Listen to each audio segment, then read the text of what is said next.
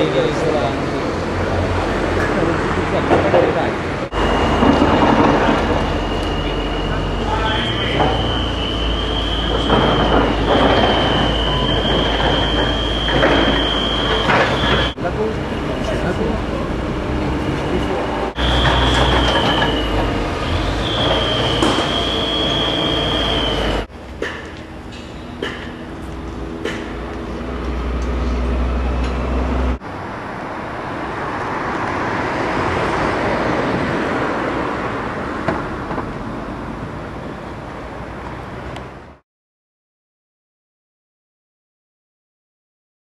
Siamo qui col professor Aldo Benedetti, del docente presso la facoltà di architettura, eh, ingegneria e architettura della facoltà dell'Aquila che ci descriverà appunto il progetto di Shigeru Ban e ci dirà alcune sue impressioni e sue, degli approfondimenti al riguardo. Certo, allora converrà rapidamente descrivere il progetto per individuarne contenuti ovviamente architettonici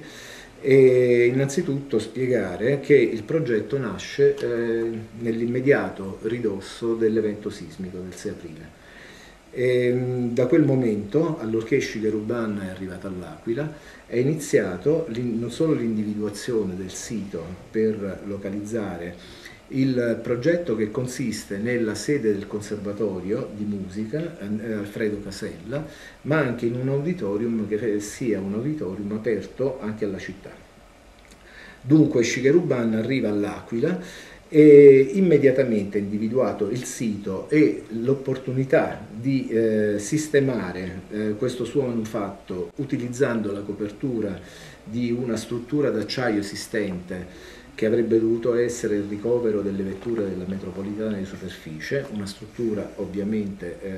mai completata e difficile da realizzare. Eh, Shigaruban dunque eh, pone eh, i primi passi, ma assai rapidi, per dotare eh, di un auditorium temporaneo e del conservatorio la città dell'Aquila.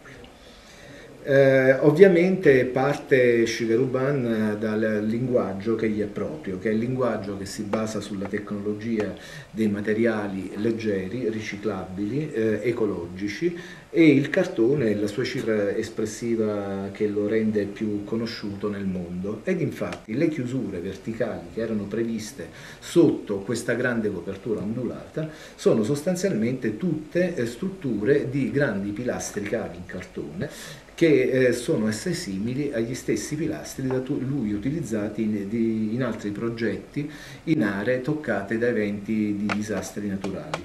Eh, basta ricordare ad esempio la chiesa realizzata a Kobe subito dopo il terremoto per la comunità eh, vietnamita che nata per essere una struttura temporanea, in realtà una volta smontata è stata donata ai vietnamiti di Taiwan, è stata lì rimontata e è tuttora in piedi.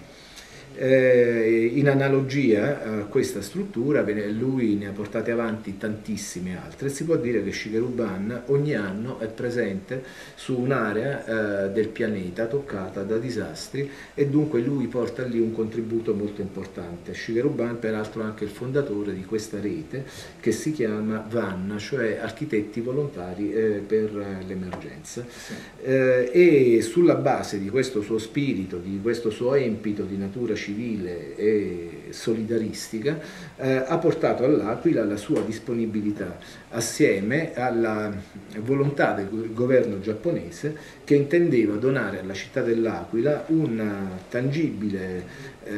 una tangibile eh, volontà eh, della propria ehm, contributo del post-sisma Dunque, eh, fin dai primi giorni eh, di giugno, eh, Shigeru Ban eh, comincia a pensare e a discutere col gruppo eh, sia parigino del suo studio e sia dei suoi consulenti che all'Aquila erano rappresentati ovviamente da me come docente dell'università e inoltre anche da docenti colleghi eh, dell'Università di Genova, il professor Paolo Rava in particolare, e dell'Università di Perugia come il professor Andrea Giannantonio istituzioni che hanno formato un pool eh, operativo eh, che interfacciava regolarmente le proposte eh, avanzate in ambito non solo parigino dello studio di Shigeruban ma di Tokyo e dunque è stato un lungo lavoro estremamente rapido di eh, proposte e verifiche.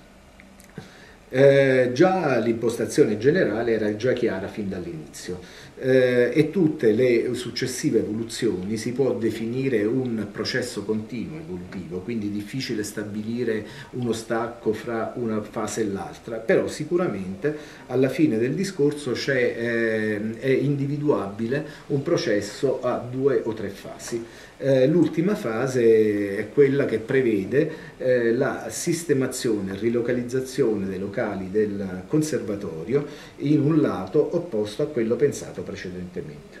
eh, sotto la grande copertura che occupa un lotto ad immediato ridosso dell'autostrada dopo l'uscita del casello Aquila Ovest, laddove l'autostrada si erge sopra il terreno con un viadotto, in prossimità di quella zona che viene normalmente definita come il quartiere di Pettino, ehm, esiste questo lotto di circa 9.000 metri quadri e il progetto di Scegaruban, il progetto coperto, occuperebbe eh, un terzo del lotto, eh, 3.800 metri quadri circa. Eh, ovviamente il progetto prevede dei, ehm, delle strutture per la didattica, dunque per aule, aule più o meno piccole, aule che vanno dai 40 ai 20 posti, eh, definite secondo una L, dunque due corpi a sviluppo lineare che costituiscono i margini più chiusi del lotto eh, sotto il, la copertura.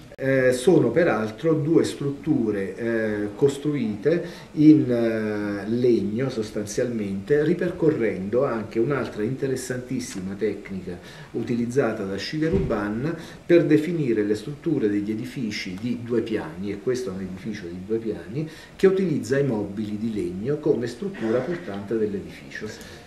Eh, successivamente eh, mantenendo largamente intatta la struttura di acciaio preesistente, sotto la struttura di, di acciaio vengono inserite eh, le attività e gli spazi eh, che sono quelli eh, ponderosi relativamente dell'auditorium di circa 600 posti, 605 posti. Ovviamente l'auditorium è stato che, quella parte dell'edificio che ha eh, subito qualche adattamento aggiornamento e dunque qualche modifica nel corso delle, delle varie versioni, non tanto nella localizzazione interna quanto in realtà per la capienza. Infatti la prima versione era per circa mille posti poi anche eh, in rapporto alle esigenze valutate con il direttore del conservatorio, maestro Carioti,